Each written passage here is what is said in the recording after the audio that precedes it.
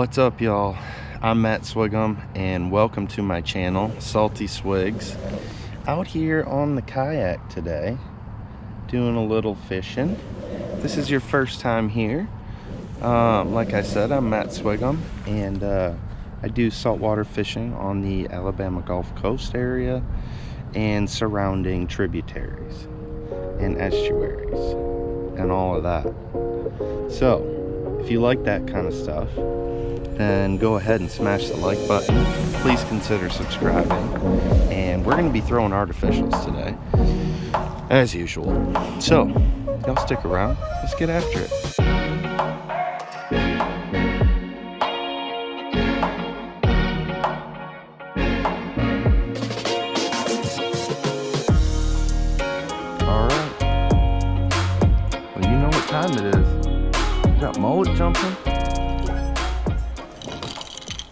It's topwater time.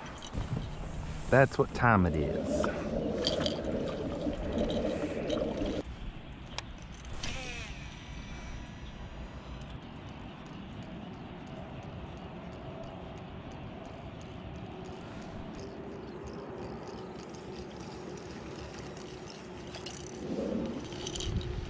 All right, so I'm throwing a custom She-Dog Miradine uh, lure.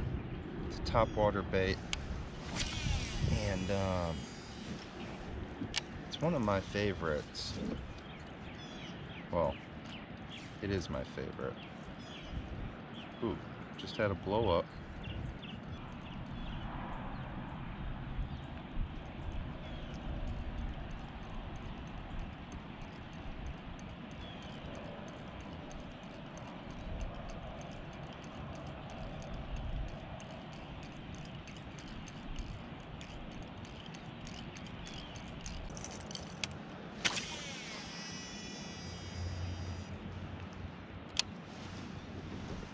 And so with these topwater baits, you just want to walk the dog. So you throw slack back into your line and then keep bumping it like this.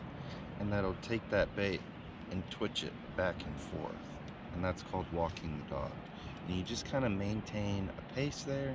And I try to work pauses in. Um, sometimes you'll get hits. Ooh, on the pause like that. Just like that, baby. As I was talking to y'all, put the paws out there.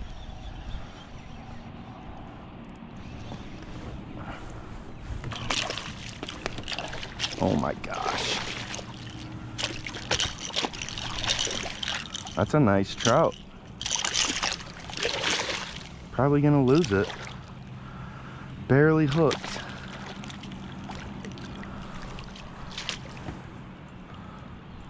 In there. Let's go, baby. nice fish. Nice fish. Now that's what we came for. Look at her. Look at her.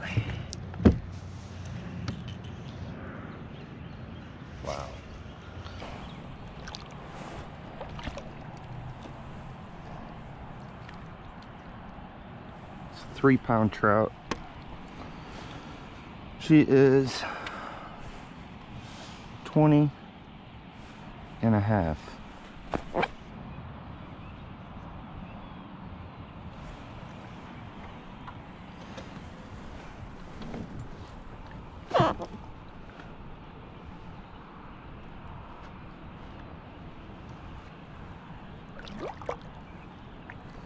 Later, big girl. Let's go, baby.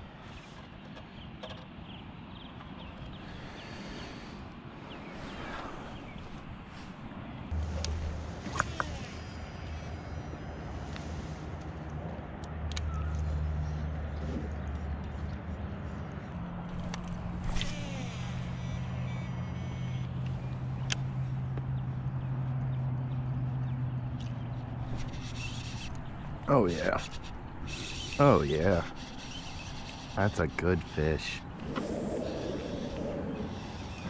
That's a, that may be a redfish.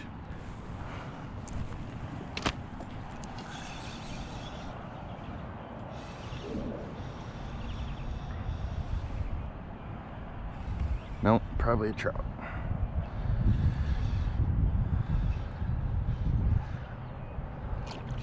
Oh yeah.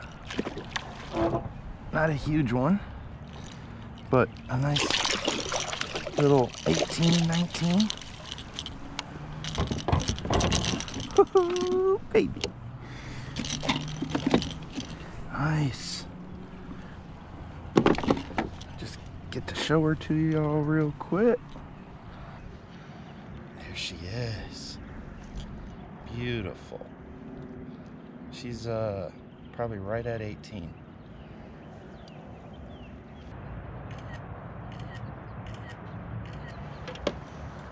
Oh. All right. Not the most graceful release I've ever had. But we're on some quality trout on top water. And that's all that matters. Gotta love treble hooks and a net. Gotta love it. I think it's everyone's favorite thing pretty much about using treble hooks. It's getting to net the fish with it. It's so cool. Because you never know when you're going to lose another one.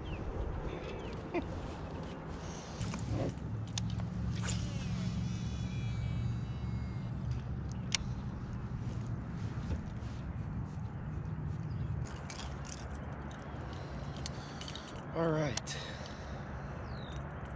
So, like I said earlier, I've been throwing the She Dog today. This is a custom um, paint job. It's just purple with silver flake. It's made by um, Cricket Lures, I think. I'll link him down below. I, am sorry, I can't remember his name uh, on Instagram, but uh, he makes these lures and stuff. They've got their own website. they're really nice. They're epoxy coated or something, and um, so that paint job will stay for a long time. And I'm throwing it on um, 20 pound mono leader. It's about six feet of leader. I like longer leaders, um, especially mono because you get a little stretch so that gives me a little play, especially when using treble hooks. I think that's beneficial um, to have that little bit of rubber band action um, to try to keep those hooks buried um, just in case you get slack in your line for any reason if that fish is running at you something like that I think that's beneficial to have that um, bungee effect that is created by mono now, fluorocarbon does have some stretch, um, but it's nowhere near what mono has. I think mono's over 20% maybe, um, something like that. So then six foot leader um, down to 15 pound. Uh, this is Berkley 9X braid and I've got this on my um, Shimano Metanium. This is the DC. That's the digi digitally controlled um, motor in here so it will uh, put the braking on for you in a way um, it's not foolproof or anything but it'll brake uh, your bait caster for you. And um, it is really nice. Uh, it's hard to beat a Metanium and especially in the DC version. I like them a lot. And this is on of course you know right there the TFO um, this is the new one that they have. This is the Resolve Bass 7 foot medium action and it's rated for a quarter to 3 eighths of an ounce. Nice rod and um, I've been liking it so far for my heavier baits like top water and um, slick lure.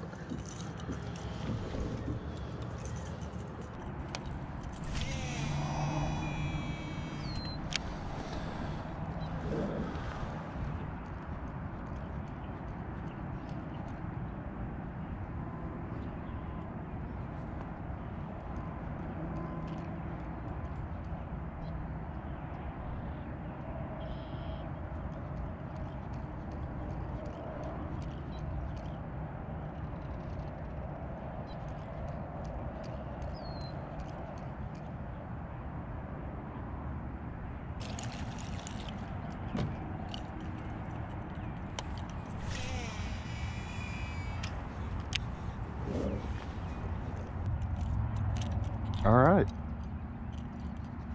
Well, I was ha I'm happy with that top water bite. So, I'm putting lures on. Well, I'm putting soft plastics on. Gonna start out with the down south lure in the plum color.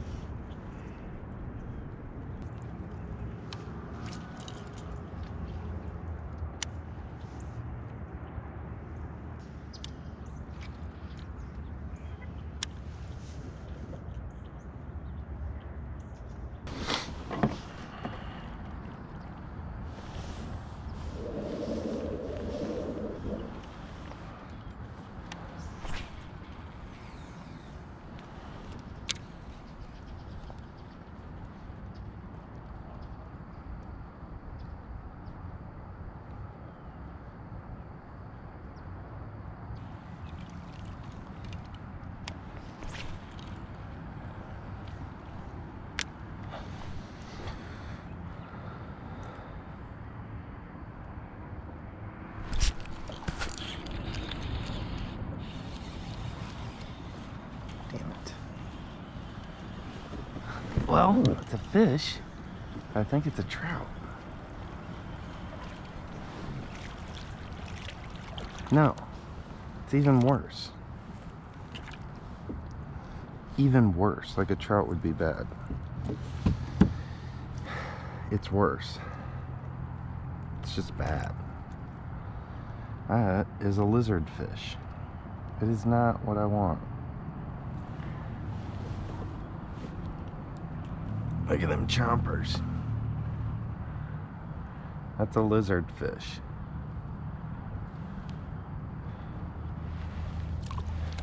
I guess you can eat them.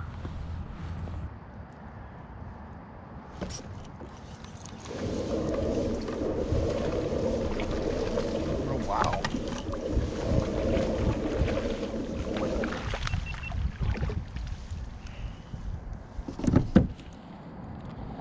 Oh, we can get this guy tagged. Nice little redfish.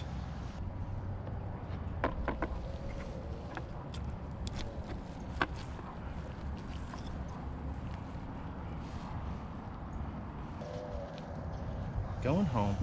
Four spots.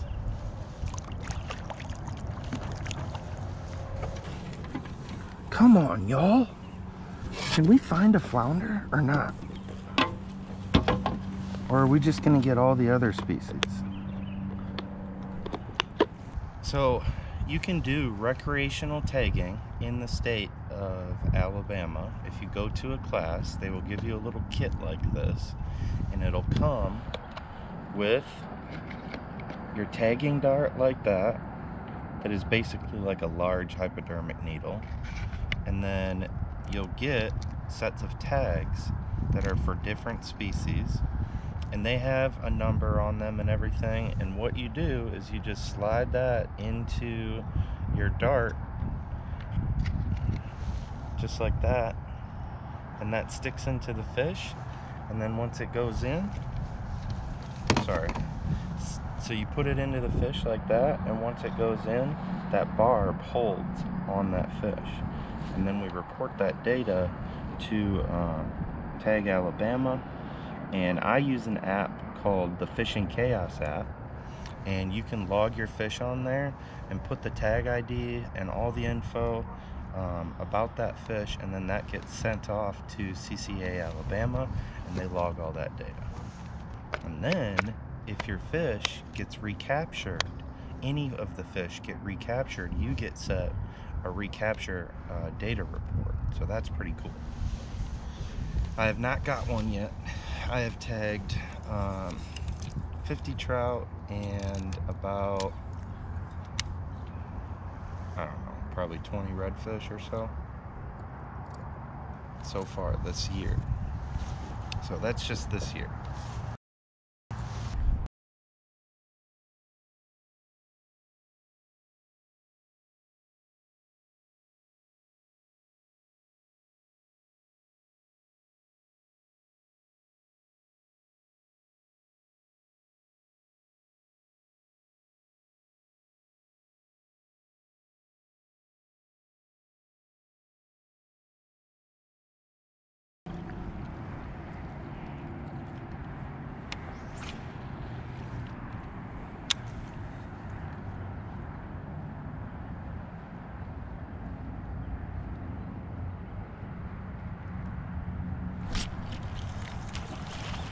Wow. That was a big jump, homie. Man, I hope the camera got that.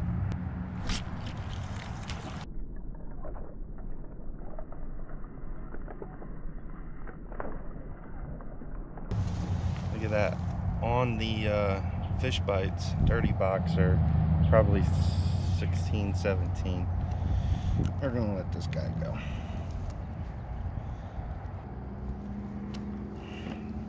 All right, going home.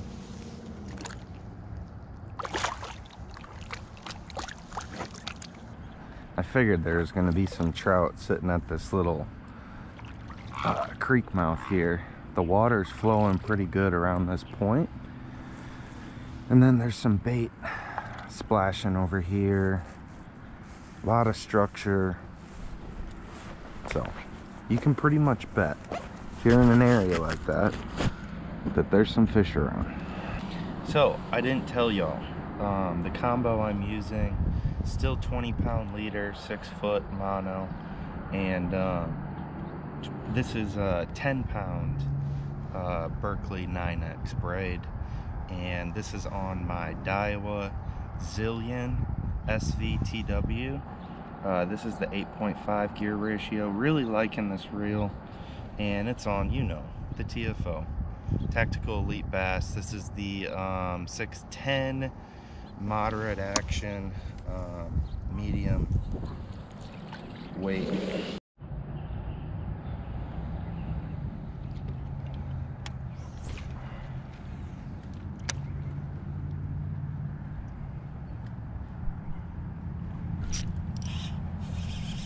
I don't think that's a trout.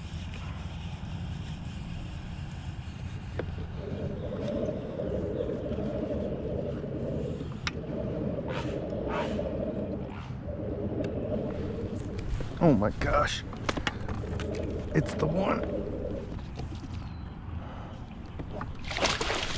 Yeah, baby. Yeah. Whew. That's what we were looking for. All right. Well, I just had to go to this corner and catch a slam in one corner. God, that's crazy. Choked it. That's a nice one.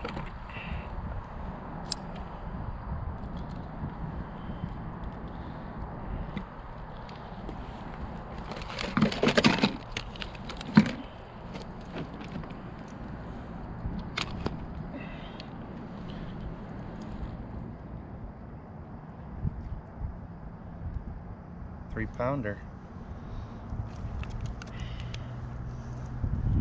There we go. Look at that. Beauty. Well, we got the slam. Oh, look at it's coming out the gill plate. Nice. This one's coming home, I think. Because uh, I got a quail fry slash peanut boil and something like that to go to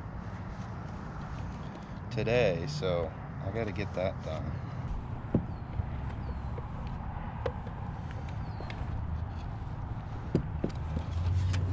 So today I fished um, a minor this morning, and if you're not aware of majors and minors and uh, solunar tables and stuff, um, you should definitely look that up and just do a little digging into it. It's a really interesting um, way to kind of analyze uh, the fish that you're catching throughout the day and when you're catching them and maybe why you're catching them um, at those times. So, like I said, I fished a minor today, and um, that is when I did catch the quality trout. Um, I got on that top water bite and um, got that 20 and a half, and uh, then that 18, 17. So, you know, there there is something to say about fishing majors and minors. I, I, I swear by it, but um, check it out. I'll, I'll try to link something down in the description about it. Um, but I think it's something important to mention. And um, basically what I was doing is high tide was at 2 in the morning, 2.15, something like that. So um, the minor was shortly after that. As soon as that tide starts falling is basically when that minor started, which was about 3.15, 3.30, something like that. And um, it ended just after 6.30. Well, I landed that um, big tw over 20 and uh, right at 6.25 or something like that. So right around there, landed that big trout and um, goes to show. Pay a little attention, do, do some um, research and then make a plan um, and try to fish that minor or a moonset or, or a major or something like that or a change in the tides. And um, I think you may be surprised at the production and possibly the quality of fish that you catch. So y'all go check it out. Well y'all got the slam. Made it happen. You know if you haven't already, please smash that like button down below. Hope you enjoyed this video, throwing artificials for an inshore saltwater slam. Yeah, baby. So, like I said, like, subscribe, all that good stuff. Hope you enjoyed it. And until next time, y'all stay safe.